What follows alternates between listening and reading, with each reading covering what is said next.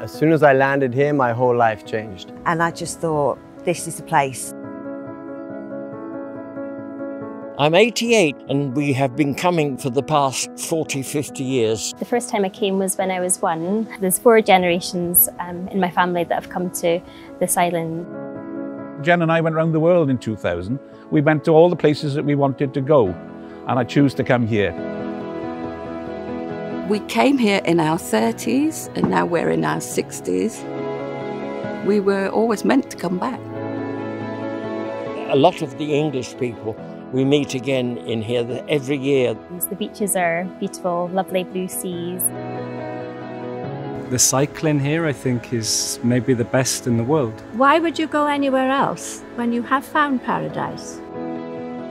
We're lucky that this place is so close to England. I think the anxieties and stresses of home life melt away very quickly here. It's the one place that I know that I can just get rid of my watch.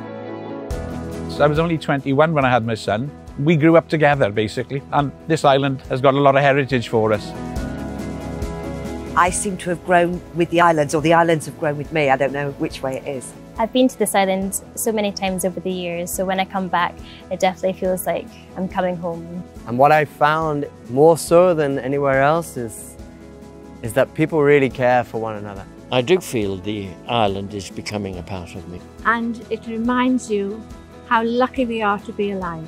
I think the island has become part of us completely. You know, if you're really lucky, you will find the one place which means a lot to you, and you'll probably keep coming back year after year.